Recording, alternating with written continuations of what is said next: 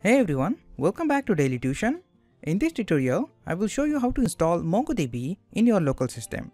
I've got many requests to create MongoDB tutorial, so I decided to make the first installation video on MongoDB.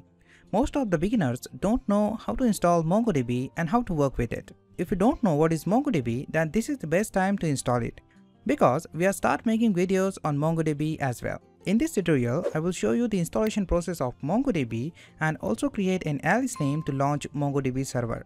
So let's first understand how to install MongoDB using MSI installer. Now let's first understand from where you can download the MongoDB server. So you just need to open your browser and type here mongodb.com and press enter. So in this website, you can find the documentation of the MongoDB and here you can find the all necessary information of the MongoDB. But before we move on, I just wanted to explain why we need MongoDB in our system. MongoDB is an object-oriented, simple, dynamic, and scalable NoSQL database. It is based on NoSQL document store module. The data objects are stored as separate document inside a collection, instead of storing data into columns and rows of traditional relational database. The motivation of MongoDB language is to implement a data store that provide high performance high availability, and automatic scaling. MongoDB is extremely simple to install and implement. So if you don't know what is MongoDB, follow me, I will show you the step-by-step -step process to learn MongoDB. If you ever work with JSON, then MongoDB will be your first choice for server-side database because MongoDB represent their data in JSON format. Now, so to download the MongoDB, you just need to click on this try free button. Once you press that, just click on the server and from this server, you just need to download the MongoDB MSI file. So first select the version. So I'm going to select the current release, then select the operating system.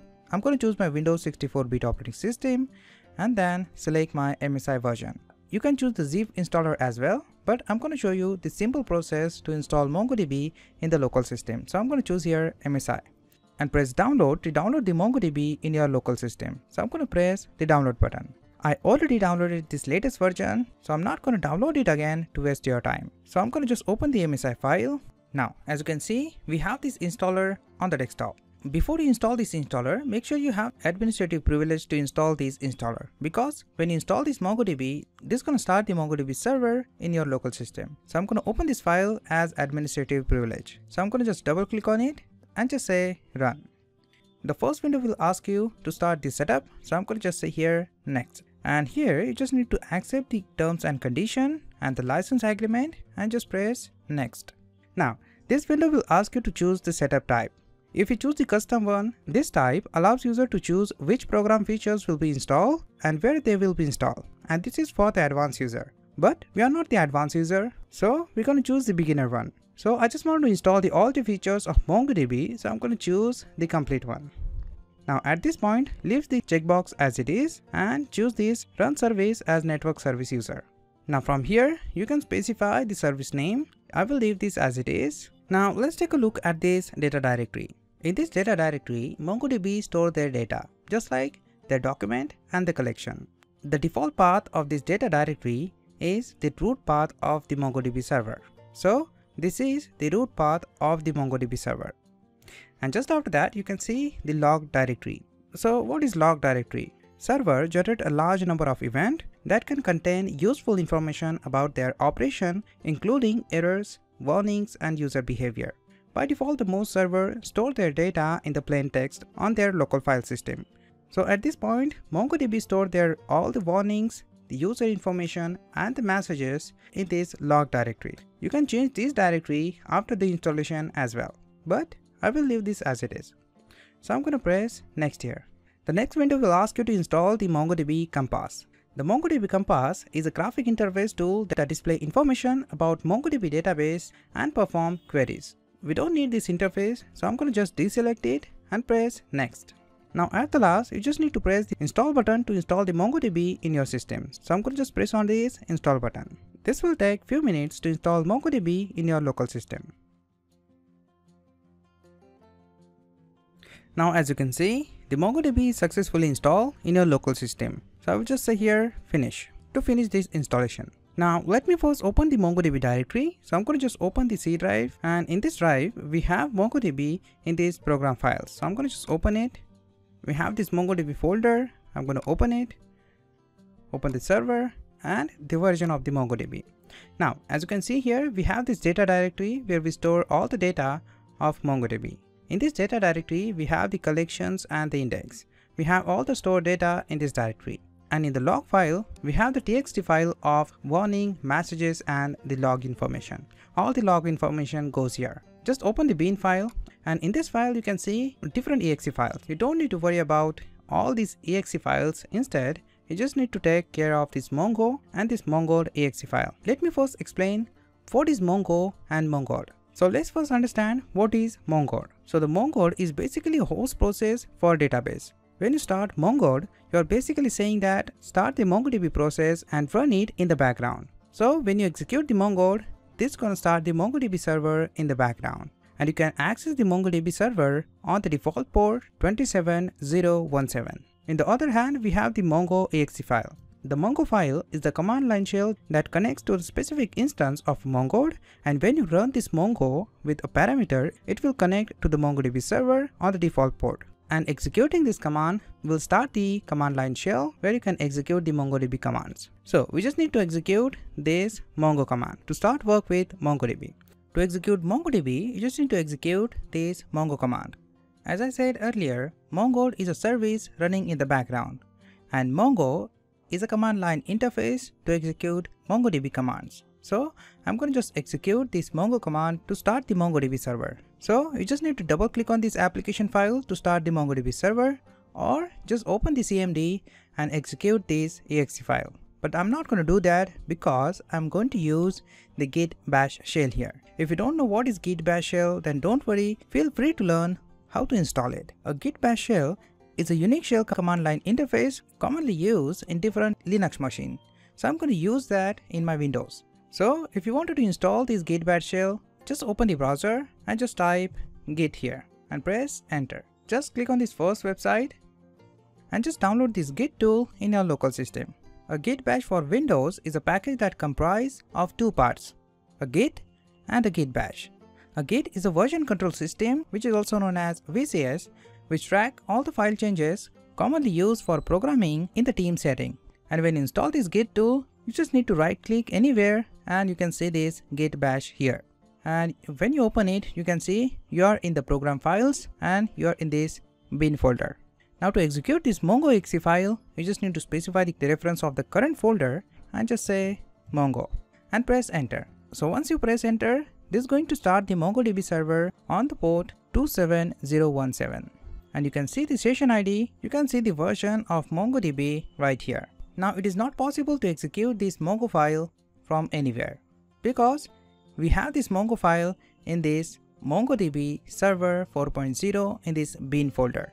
To execute this file, you need to you need to open the you need to open this bin directory, execute this Mongo or this Mongo file. So this is very time consuming to open this file and execute this Mongo from this bin directory.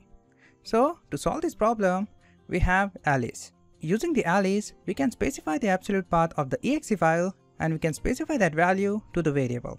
So once you call that variable, we can execute the Mongo server. Let me show you how.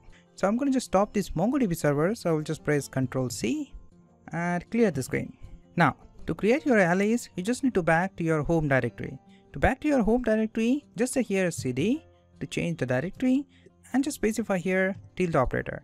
So this will change your directory to your home directory, right? I will just clear the screen and here I just want to create an alias of this MongoDB exe file. In this home directory, we are going to create a file called bash profile. So to create this file, you just need to say here touch and then specify the name of your file. So I'm going to just say here dot bash profile and press enter. So this will create this file in the home directory. Now I just wanted to open this file. So I'm going to just say here vim and just specify the name of this file. So I'm going to just say here dot bash profile and press enter. So this will open this file in this terminal. Now to insert text in this file, you just need to press I. this will open the insert mode of this file. So I'm going to just press here I. In this file, we need to specify the alias name, we need to specify an alias, the variable, and the path of this Mongo and this Mongod.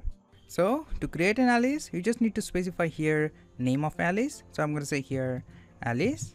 So I'm going to just specify here Mongod. So this is the exe file. So I'm going to just specify the name Mongod to this alias.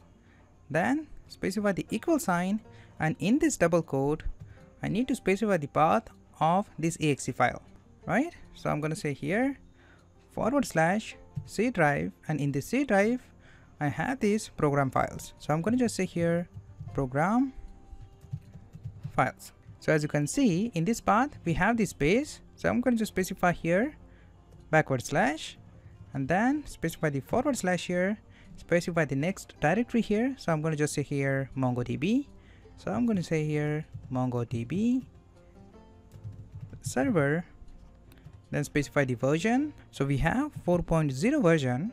So as you can see here at the recording of this time we have 4.0 version. If you have the different version change this version to your current mongodb version. Then specify the forward slash the last bin directory. So i'm going to say here bin. And i want to store this mongo.exe file in this variable.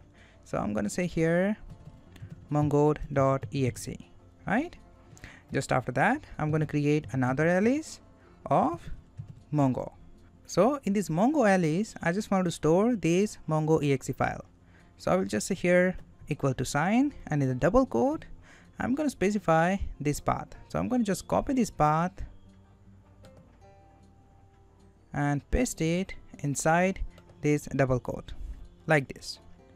Just after that I just need to specify this mongo.exe file right here so I'm gonna say mongo.exe. Now just exit from the insert command. So I'm gonna press escape button. Now to save this file and exit from the Vim, I'm gonna just say here colon WQ and press exclamation mark, right? And press enter to save and exit from the Vim, right? Just close this terminal, open it again. And as you can see, if you wanted to execute this Mongo, you just need to say here mongo and now I want to get the version of my MongoDB server. So I'm going to just say here hyphen hyphen version. So when I press enter, I'm going to get the version of my MongoDB server. Now, if I change my directory, let's say open my desktop and on the desktop, I'm going to right click here and say open git bash here. From the desktop, I want to access the Mongo file. I just want to get the MongoDB version from this desktop. So I'm going to just say here Mongo. I will just call the Mongo alias and just specify version. And when I press enter, this will print the MongoDB version here. Now, if we didn't create alias, then we can't access the Mongo from the desktop. Because of alias, we can access this Mongo command anywhere from the system, right? Now, I just want to start the MongoDB server, so I'm going to first clear the screen and just say here Mongo. And when I press enter, MongoDB server started on the port 27017 and you have the session ID here. Now let me check how many database are there in my MongoDB server. So I'm going to just say here show DBs. And when I press enter, I'm going to get how many DBs are there in my system. So I have admin, config and the local database, right? As simple as that. In our local system, you can now perform MongoDB operation easily. We will learn everything step by step. If you have any question regarding to this tutorial, ask me anytime. Like this video if you find anything useful, subscribe for more latest videos. That is all for now. I will see you in the next tutorial.